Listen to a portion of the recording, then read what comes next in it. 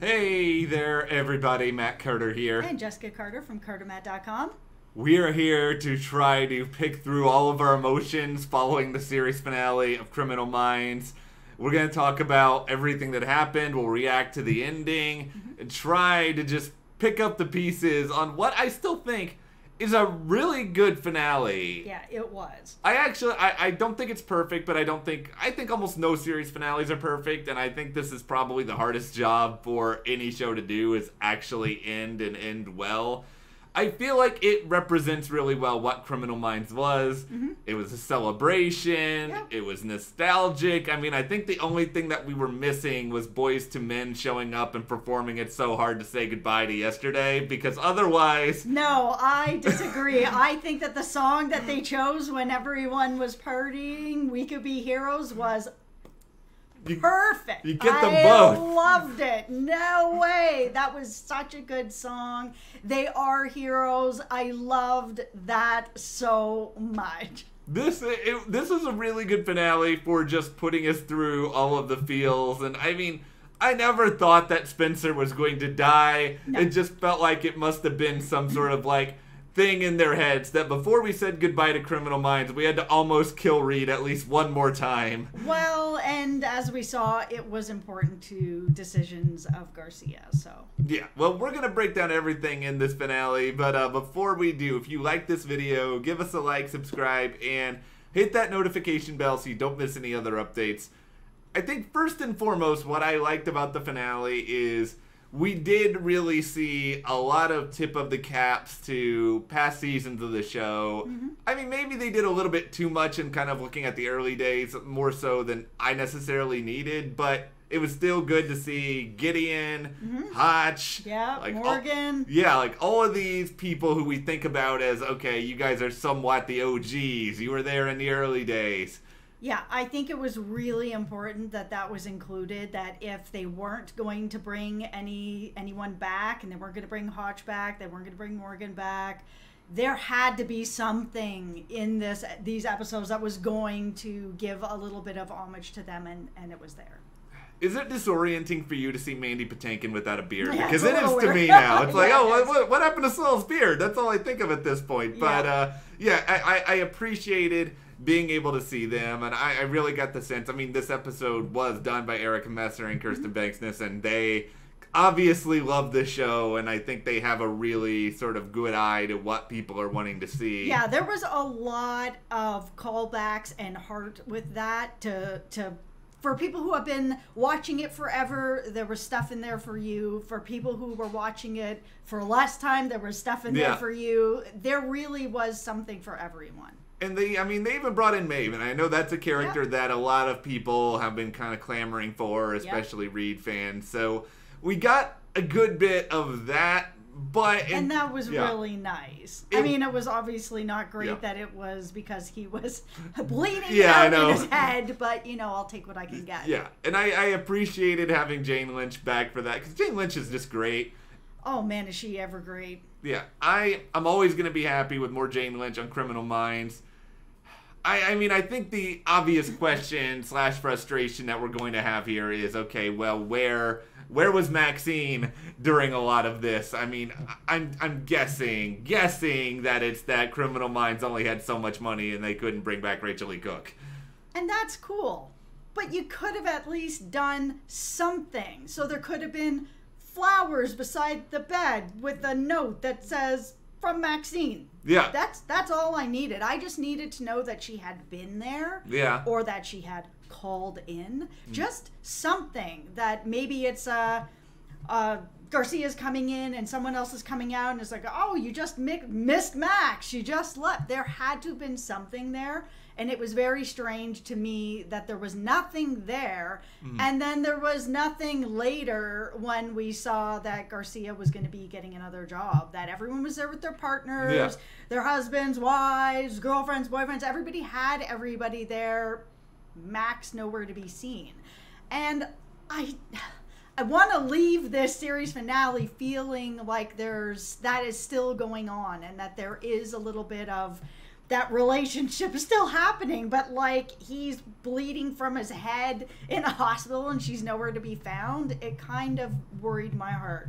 I'm gonna believe. I'm gonna choose to believe moving forward that they're together, they're happy, and may, maybe it was just maybe that scene that you're talking about. Maybe it was cut out at the last minute because I, I I'm assuming that because it's a series finale, it probably ran long and they probably had a lot of stuff that they weren't able to clue, include. But yeah, For me, it could have even just been, like I said, some flowers with a big Max blinking Yeah. light. Just let me know she was in the room. Yeah, I that that part of it, I, I wish that Max was there. I mean, I know we got to see a lot of other significant others throughout the finale, and I mean that was nice. You've got Christy, she's making a return appearance. You got Will, and so you know. JJ's personal life still going well. Everyone seems to be happy in their relationships. I mean, Rossi. Mendoza's there. Yeah. They're, they're getting a house. Yeah, well, good, good for you guys. That was really fun. Was and cool. you know, you even get to hear Prentiss talk about you know, cutting her hair, which I, uh, I, I wish we'd kind of actually gotten to see that. I think that would have been fun. That would have been. But uh, yeah, I mean, we saw. If for some reason we actually get to have more of this show, yeah, please have the new haircut. yeah, yeah. Give us new Prentiss. I want to see. I think that would be fun. Yeah, I mean, Crystal's also back. Not exactly the happiest of circumstances for Crystal. Has to go through it more than almost anyone else in this episode.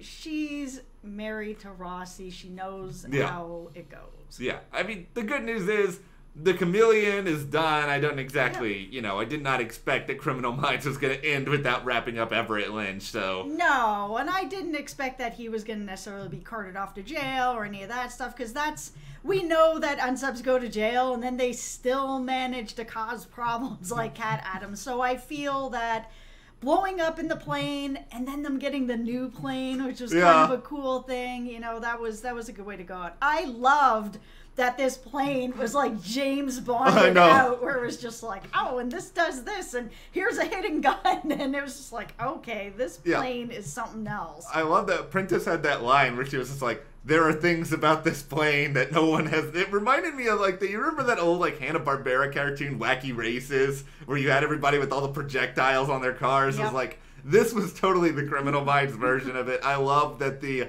the plane is actually the thing that saves the day. Yeah, I thought that in the cool. end. I mean, usually it's just the setting for here's your weekly dose of unsub exposition, and now it's like okay, the plane is a character. We get the new plane in the end. Yeah. They still get the go wheels up. Were you surprised that they they really like hoodwinked us and all the promotional material? They were like, Rossi is retiring. it's gonna be the end of the show. And then Rossi, just at the end of it, is like, Red record scratch. I'm not going anywhere. Yeah, no, I was actually really surprised by that. Yeah. I thought that this was going to be a really cool wrap up for him that he was going to go on and go maybe go on a book tour or do something else. Yeah. There was Rossi just has so many different facets to his character and he does so many different things Yeah. that I could have actually seen him retiring. But then when he was kind of like, oh, you know, I just I can't, I can't leave it. I, I it's in my soul kind of thing. I was like, yep, I can see it swinging back this way too. That he's going to be Yeah. that guy that's going to be way past retirement, well into his 80s and 90s and 100s, and he's still going to be like, nope, wheels up. Yeah, you're gonna have to drag Rossi out of there, kicking and screaming at Yeah. this point. I, uh, that's at least my takeaway up And from I it. liked it. I Yeah. liked it. I like the fact that most of the BAU is kind of still together. I mean, Yep. the only person who's really like formally leaving is Garcia. I was worried that we were going to have the yet another like the umpteenth instance of oh here's another computer tech person who's going to work in Silicon Valley because it feels like every show does that storyline now. Yeah, and they kind of did dip a little toe in that to be like, oh, I got this offer. I was Yeah. like, oh, man. Here we go again. Here we go again. Yeah, no. So I'm really glad that she's staying in town, Yeah. and it was nice to see her celebrated. Yeah. And I will say this: we talked about Maxine being Yeah. missing. I found it strange that Morgan was not at this party, and I know she's not leaving town or something, whatever. But this is a huge career move for her. Like Yeah. she is leaving a job that they were at together that meant a lot to both of them. She's he is her best friend. Like he's not there to celebrate that. I understand why, but just the same, Yeah. put some flowers on the table with a big sign that says "I love you" from Morgan.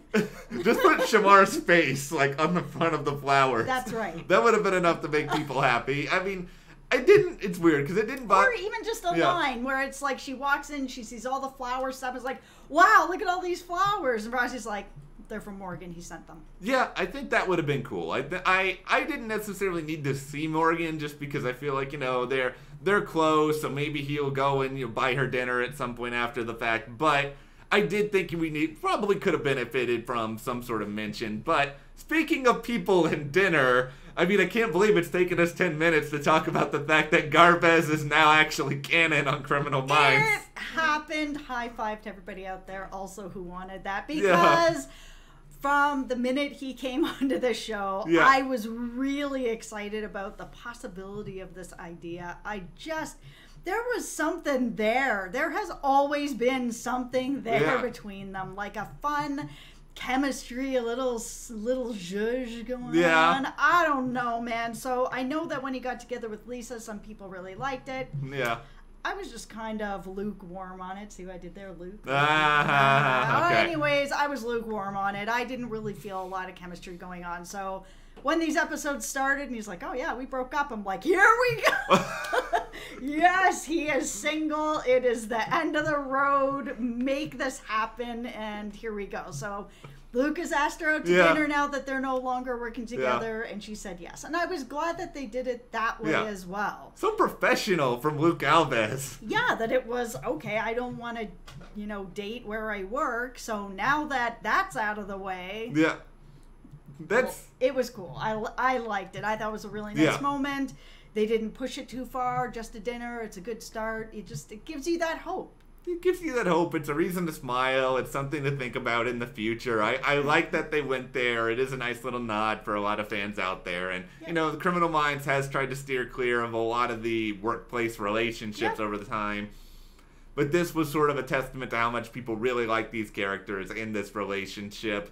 The I, I like I like it too, but I know you are especially a GarVez fan, so it's always cool Yeah. to see the geeky girls getting the hunky boys it's just it's cool yeah, it, it, it- it's a cool thing. it doesn't happen a lot No, and I think having it on this show and having it happen this way, where these two characters really know each other so much, and it's just it's just proof Yeah. positive that Luke recognizes what all of us recognized for a long time, and that is Garcia is awesome, and you know he should want to be with her. Well, it's cool because now you can go back and watch these episodes and kind of still see that Yeah. specialness that was going on between this whole time, and that Yeah. the thing that was holding him back was that they worked together. Yeah, It and doesn't mean that the feelings weren't there. It's just you know there was a block, and now it's gone. I also just like it because it gives Luke a proper sort of into his story, and I feel like we have that for almost everyone. I mean, probably the one bummer I still have about the entire final season is Tara. Really, I mean, she she's there and she's there for to support other characters, but I and I know she had some stuff in season fourteen, but it just feels like these ten episodes we really didn't actually learn anything about her at all. No, she did not get any sort of spotlight at all, which I thought was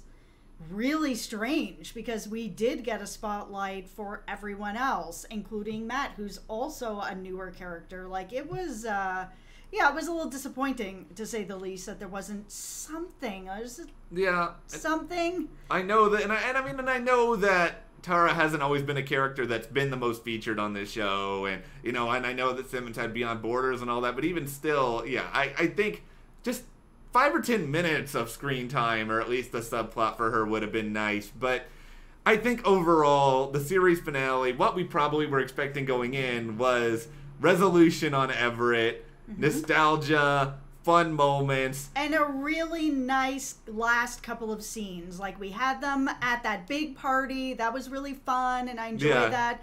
But actually seeing them back at the office for their last sort of moments together where they're all having their their teas and their crazy mugs and Yeah. then the unicorn pen and everything that was going on.